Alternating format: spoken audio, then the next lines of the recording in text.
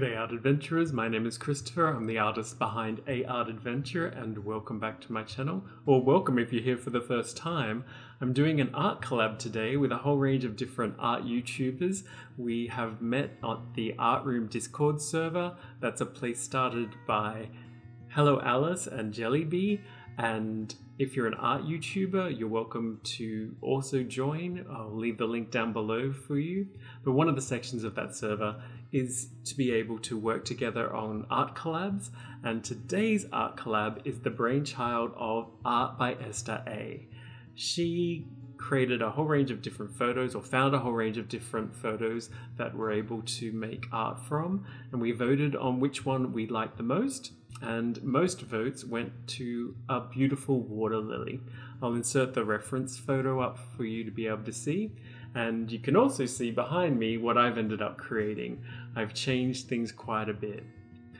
The other artists are working in a whole range of different media, and I have gotten acrylic gouache. So you can see me starting to put down layers of acrylic gouache here not really familiar or that experienced with this art medium. In fact, this is the second time I've ever tried it.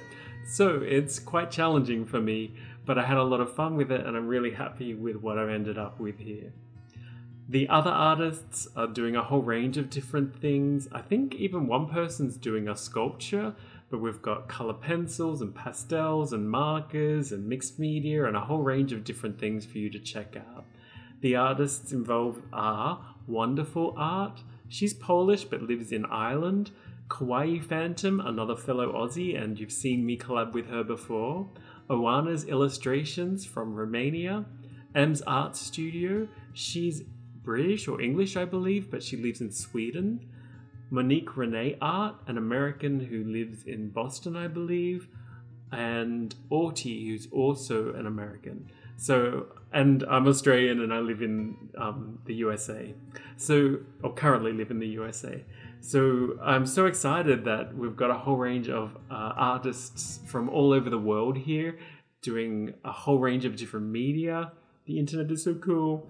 And I hope you'll go check out their channels. I'll put a link to the playlist or links to the other artists below or both. So, I guess the the trick with acrylic gouache, if you haven't ever used it before, is to think of it like acrylic paint. It really is a kind of acrylic paint, but it dries matte and ends up looking like gouache when it's finished. But it's acrylic because it's it's got that plastic acrylic chemical substance in it that makes it um, dry really rapidly, and you can't move it and you can't lift it but you can layer it. So you can put on layer after layer after layer, but with gouache, you can't. Uh, every time you try to put on a new layer, the water will activate the layer below and things will start to mix together. Unless you let things dry and you only go over once and you know, there's all sorts of tricks and tips that you can use to get around the challenges of different media but most people find that it's hard or impossible to layer with gouache, but it's really easy with acrylic gouache. And so I took advantage of that by painting over at least three different layers in different parts of this painting. That was really cool and fun to experience. The downside is, at least I find, that the layers dry really, really quickly. So I'm more used to using watercolors and spreading the, the pigment or paint out over time or re-wetting areas and blurring and mixing different things using wet on wet techniques. You can't really do that with this. You can sort of do it to a limited degree, but you know, wait 10 seconds and it's dry. So you really have to work pretty quickly and you have to plan ahead. If you look at my palette, occasionally you'll see that it just instantly goes blank again as well because the paint really dries firmly in a plastic palette like this one as well. And so every like half an hour to an hour, I would go and, and clean up and wash out the the acrylic paint and get a clean palette again before it really got too hard and too dry. In terms of the art itself, you can see that I've really diverged from the reference photo in terms of color. I really wanted to do something a little bit different and have some fun with this, and so I actually inverted the colors using um, a photo editing program that's free called XNView. I'll leave a link down below for that as well, and I'll put the reference photo up that I used to to get a kind of idea of these inverted colors. I didn't really stick 100% to that. I just wanted a guide of what might look good. So there's a cool tool in that program where you can just slide along different hues and see all sorts of different color variations. And I got to one point where the lily pads had turned quite vibrant pink and the water lily flower had become quite blue, and so I decided to go with that. By the way, if you're curious about water lilies and what kind of flowers they are, I'm not an expert in that area, but I used to always get confused by what is a water lily and what is a lotus flower. If the flower is growing right on the water's surface, like in this photograph, it's a water lily. And if the flower grows up uh, on a stalk and grows out of the water, it's a lotus flower. And so hopefully that helps you if you've ever been confused. Maybe I'm the only one that's ever been confused by that. I don't know. So by this stage, I've gotten down my first couple of layers, but I want the flower to stand out a little bit more.